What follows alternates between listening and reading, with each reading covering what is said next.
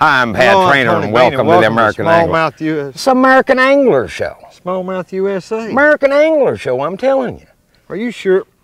Seriously, Obviously. folks, this is the American Angler TV show from Arizona. Go ahead. I'm Don't sorry. pay any attention to this Tennessean, he'll lead you totally astray. I'm ready to catch a smallmouth because you said when I came out here I would catch one that long.